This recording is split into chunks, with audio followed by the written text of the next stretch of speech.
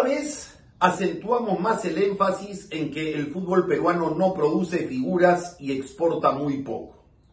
En lo reciente, la Major League Soccer ha sido la liga donde los peruanos han emigrado con mayor frecuencia y han tenido cierta continuidad y protagonismo. Todos los que fueron en general, Polo en su momento, Jordi Reina, Raúl Ruidía sin ninguna duda, el Central Araujo cada vez más, Miguel Trauco cuando estuvo en San José Earthquakes, en general sigue siendo una liga que acoge y que resulta, digamos, amistosa para los jugadores peruanos. Pero ¿es la ideal? No es la ideal. Es a la que los jugadores peruanos están en condiciones de llegar y rendir.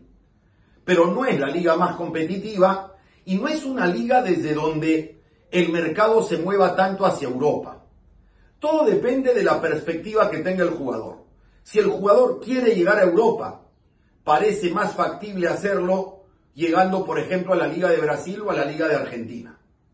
Si el objetivo es simplemente emigrar para encontrar excelentes condiciones de entrenamiento, de trabajo, clubes óptimos, una organización espectacular, buenos ingresos económicos, la Major League Soccer es muy importante.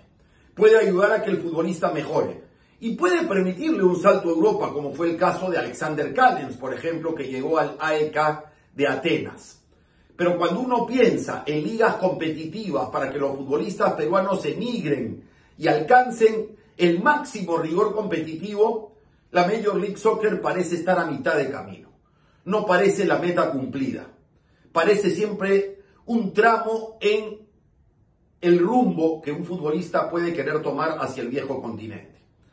No parece lo ideal llegar a Europa a través de Estados Unidos. Insistimos, más factible parece vía Brasil, vía Argentina. Pero si no hay alternativa, siempre será mejor emigrar que quedarse en la Liga 1 del fútbol peruano. Y la Major League Soccer, cómo no, va creciendo cada vez más en su nivel competitivo.